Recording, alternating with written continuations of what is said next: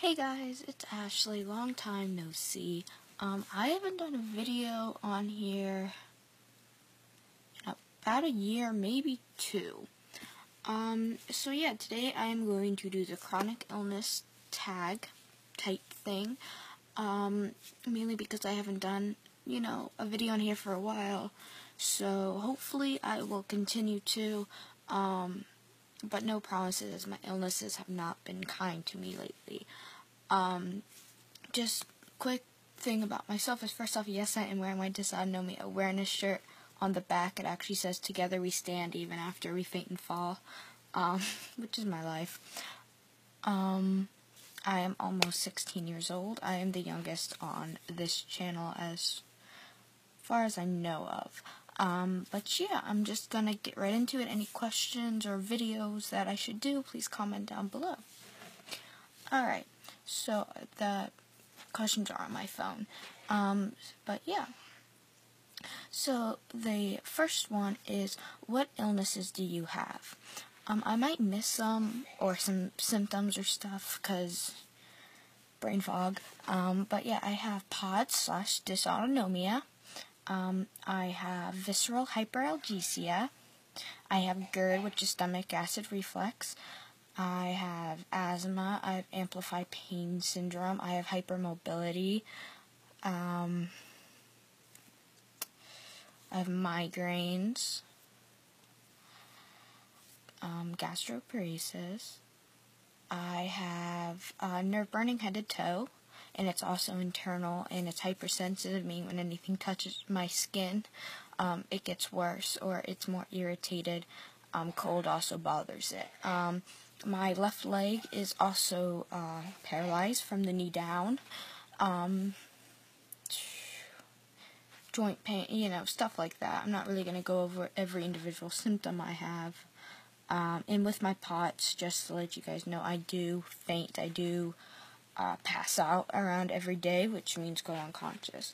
Um, it used to be 10 times a day, but I rarely get off of the couch. I'm actually sitting up right now, which I don't do very often. Um, Alright, number two is when were you diagnosed?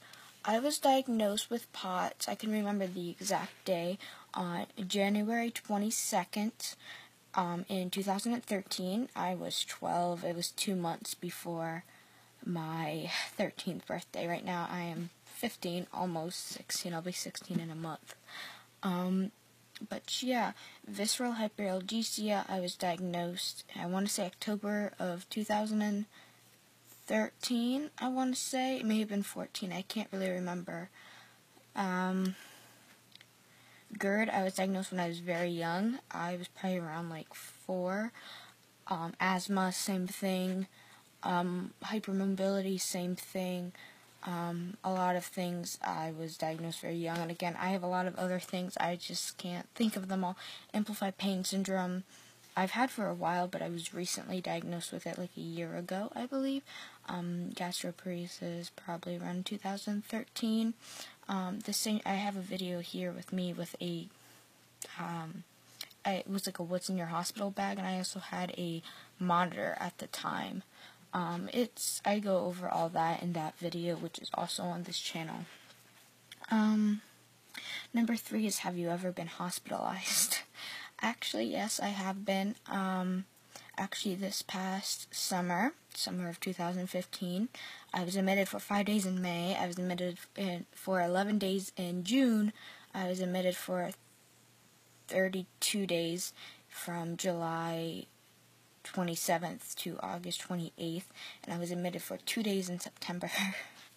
so, and I've also been admitted, uh, you know, a few other times uh, for in previous years for uh, multiple other things. Um, if you want more of a video on that, comment down below and I'll do one. Um, but yeah. Um, number four is, have you ever had surgery? Uh, yes, I have. I'm not really going to go into all that because this would be, I can't see how long the video has been already, but it would be a long video. So, uh, yes, I have. Um, number five is, do you take any prescription meds? This is probably going to shock people back when I had my feeding tube, I had an NJ tube. Um, I recently uh, got it out because my stomach, uh, something worked basically.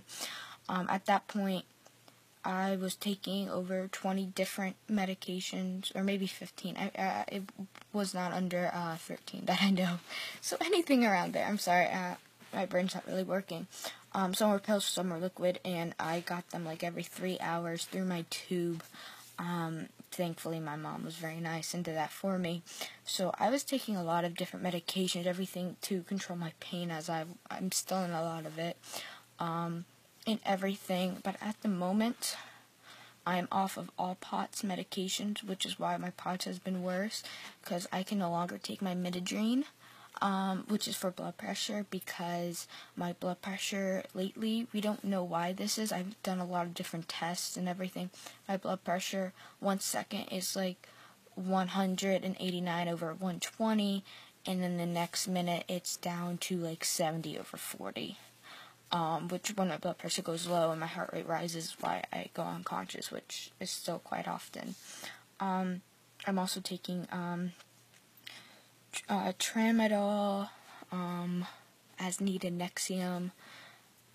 Other than that, I'm not taking anything. Uh, like I said, I was on a lot of different medications, but I took the choice to get off of a lot of them because they were causing a lot of side effects, which were causing other side effects, and I had to take medications to counteract those side effects.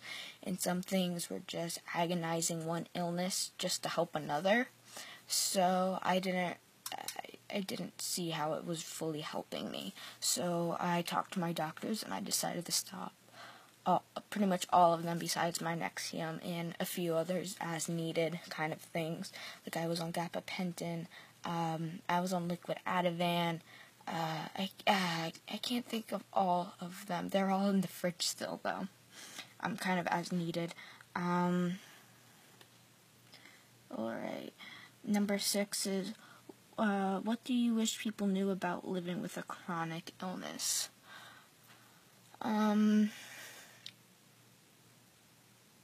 uh, this is kind of hard that well, one, I do home hospital teaching. I do not go to school because I am too ill to go to school, which is a real bummer for me because I love seeing my friends. Um, that and I've been off and on home hospital school since I was in uh, sixth grade, and I'm now in tenth. Um, and my friends used to always say, "Oh, you're so lucky, you get to stay home," and it's like, that's that's not. How is that good that I'm too sick to do anything to kind of even go out of the house. Only times I leave the house anymore. Um, we decided to have my home hospital teaching at a Starbucks. Actually, um, I only do home hospital six hours a week though, but that gives me a chance to get out of the house. Um, but yeah, and I can't walk because of my legs, so I'm either on crutches and I'm mainly in my wheelchair because, you know, if I stand for too long or something, it is very, very likely I will uh, pass out if I stand more than like three minutes. Um, that's just how it is for me. Uh, always has been. Um, Alright, next question. Um, seven, number seven is what can we do to raise awareness?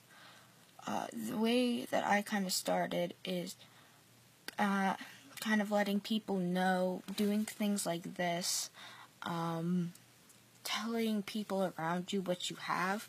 Um, mainly I do because I go unconscious. It scares people, and if I let them know what's happening, I make them more comfortable around me. And I also make them aware that this is something that happens. This is something that is real, that it's something that could happen to anyone. Well, some of my things are genetic, um, but you know, this is something like POTS is something anyone could get. Two people in my school actually have POTS. Um, they're both older than me though, and were recently diagnosed. Um, but yeah. Uh, it, by the way, for my age, I got diagnosed at 12, which is to my doctor quite young because most people, even if they start showing signs at like 12, they usually don't get diagnosed until like 15. I started showing showing original signs at like eight, seven years old. But then when I got, I think when I got 11 years old, or either, I was either 11 or 12, I started passing out like eight times a day. Um, I couldn't stand up without falling back, either falling down or passing out, kind of thing. Okay. Number eight is who knows about your illnesses. This goes to what I just said. Um, pretty much everyone, I'm not, not every everyone, but if people ask me about it, I will tell them straight up. My friends that I meet, um, I tell them about it, especially if I'm hanging out with them because I don't, if I pass out or if they, because I'm in my wheelchair or something, I don't want them to be freaked out or scared of me or frightened. Um, I want to kind of ease them, and if I, you know, I'm like, hey, this this is just how it is. It calms them down. So, and plus, it's another way to spread awareness. So, any chance I can get, I try to let people know. Um, however, um, some people take, especially at my age, and me letting people know that some people see that as I want attention.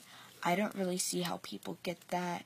I mean, sure, in a way, I do want attention because I want people to know about this illness, but I do not want people to go, she's an attention seeker, she's, you know what I mean? Not like that. I don't want it for those reasons. Um, which I don't even know why people, you know, think that. It's very odd, but I have gotten that in the past. Um, number nine is how does your illness most significantly affect your life. Um, it affects me from walking. Um, it stops me from going to school and seeing my friends. I mean, it stops me from more, more ways than I even fully realize.